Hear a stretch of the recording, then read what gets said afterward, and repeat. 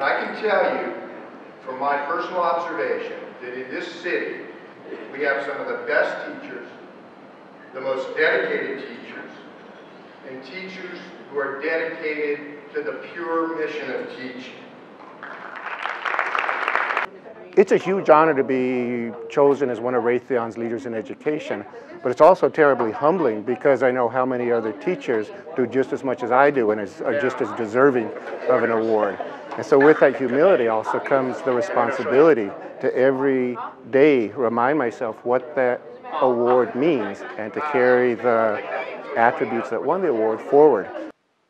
The Raytheon Award was for leadership in education. I was nominated for that by my principal at Rincon. And to me, that, that allowed me to know that she felt I was a leader here at Rincon High School. Uh, Raytheon recognizes that leadership in education is important. And within this community, having a large uh, company recognize that uh, is really important for education in Southern Arizona. And that's why it was important for me to be nominated by Raytheon. Teaching is a hoot. I love to teach. And when I'm asked why I like to teach so much, I always think of the scale and the reach of what a teacher does.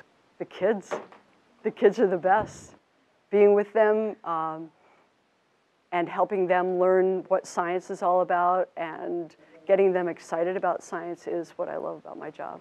It's, it's a great feeling to drive home and, and think I've made a difference.